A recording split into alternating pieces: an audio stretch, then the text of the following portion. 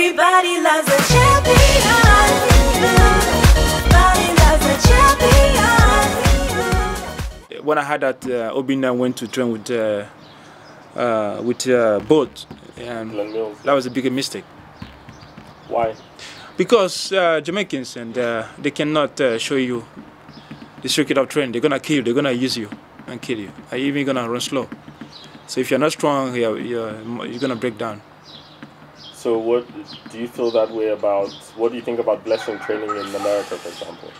Blessing training in America is, is good, and um, there's so many good coaches uh, wh- wh- which is which is not uh, affiliated with the national team, like John Smith. It's a it's a great coach. And, a couple of times he invited me to train with him. I always say thank you for invitation because I know I've been there. You can train, you can run fast in the meet, but when you come to the major championship, they kill. They kill you. So is it your opinion that they will never train Jamaicans and Americans will not train other athletes as well as their own? They cannot train you to, to beat them. Why not? It's impossible. What if you're more talented? Even if you're talented, they'll make sure that you you, you beat, beat in, in the final. Is that is that something they do in your in your training, or are you suggesting that They give you uh, some uh, some different training. Okay. Yeah, some program different, which is not good for you when you get into the championship. You have to be smart. Huh. Yeah. So what you're saying is that if Nigeria wants to beat them, we have to do it ourselves. Yes, we have to do it, or somebody else, somebody a coach or Nigerian coach, um, uh, who who went to America to learn, uh, to study and learn what's uh, good for them, or who knows about the body. So it's it's all kinds. Or or a neutral coach, which is an American young coach, would w- wanted to make a name, which is different because as soon as he made a name, they're gonna take him and put it in the national, national as a national coach, and that's it. So he's done. So that's what they do. So all the good coaches were all brought to the national national. So, and the history, if you see the history of uh, Maurice Greene, you never seen Ato Boldon beat Maurice Greene in the final. It never happened, right? That's true. Okay. The only time both um, uh, was in the medal was in Atlanta because Maurice Greene still was uh, wasn't running. He was in, he was in the stadium watching. So he stepped in. I remember in '97 World Championship. at Ato Boldon ran 985 or 986 in the semi-final, and he got last in the final. And Maurice Greene won the race. The same thing happened to Blessing. In London. Yes.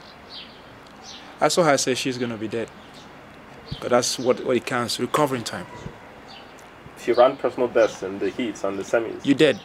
24 hours to recover after running personal PB. Natural. 24 hours. 24 hours. Because your body you have to be in shock. In big shock. Because you, you took your body to some level uh, which is not normal. Because we are we athlete professional we are not normal. So that's what happened. When you run your PB, take you 24 hours to get you in a good shape because your muscles are dead. The, the central nervous system is dead.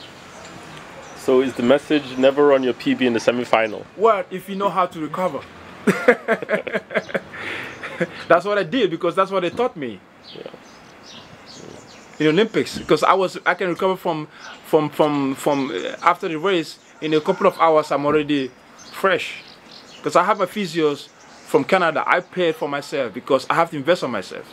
Mm. He's the best in Canada, so I pay for his ticket. I pay if I get a medal.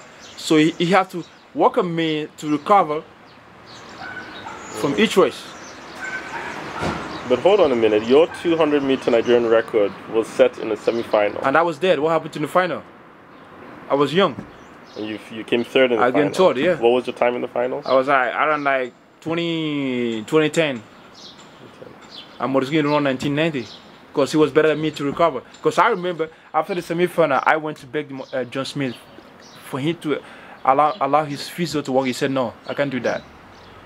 Nobody will have to work me. Nigeria doesn't have anybody to work on me. So I was dead.